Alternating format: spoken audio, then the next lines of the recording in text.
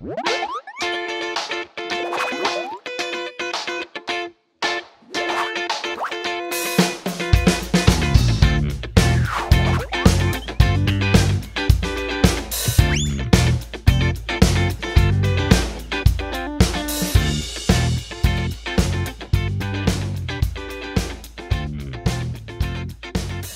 that's a good question.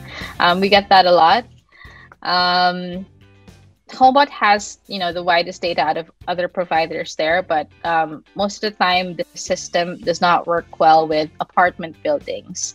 Um, but Homebot can typically get data on uh, multi-unit properties owned by different entities, for example, condos or duplexes or quadruplexes.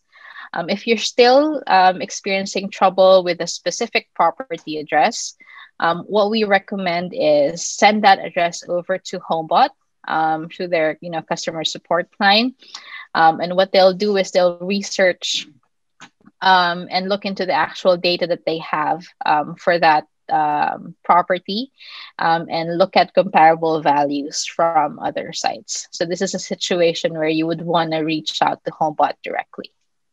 Perfect.